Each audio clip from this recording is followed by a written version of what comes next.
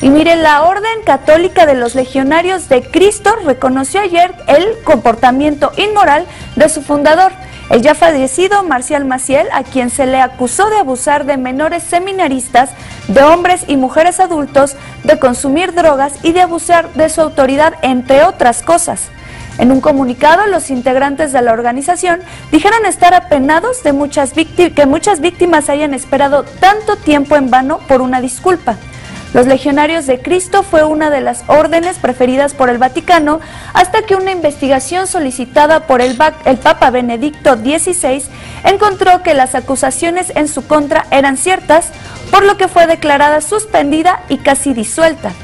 Ayer el Vaticano autorizó el nombramiento del sacerdote mexicano Eduardo Robles Gil como su nuevo líder. Te invitamos a seguir cuestionando la información con los siguientes videos.